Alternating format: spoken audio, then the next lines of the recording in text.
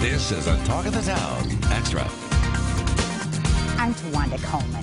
Over the past couple of years, the number of fatalities from trucking accidents has increased. To help combat these tragic accidents, the legislature is proposing all trucks have a speed limit in place. If this occurs, it is estimated it could save 63 to 214 lives annually. Jim Higgins is here to tell us more. Welcome, Jim. Thank you. So tell us about this proposed new law and the debate surrounding it. Sure. So what they're talking about doing is putting a basically a governor or speed limiter on semi trucks. So they can't exceed. They're not really sure. It might be 65. It might be 68 miles per hour. But that so they can't roll down the highway at 100 miles an hour.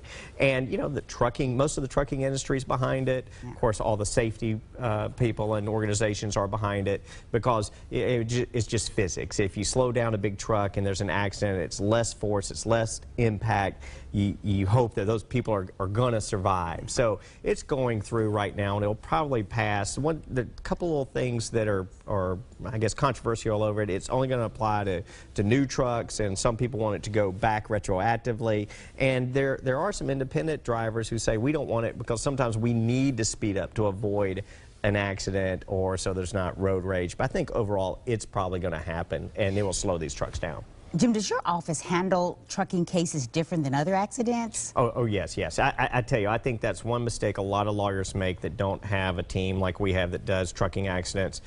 It's not simply that an accident occurred and whose fault it is. You want to get into the truck records. You want to find out if they were violating the laws. You, you have to handle a whole entirely different way from a regular car accident good information. Thank you so much for being here, Jim. Thank you.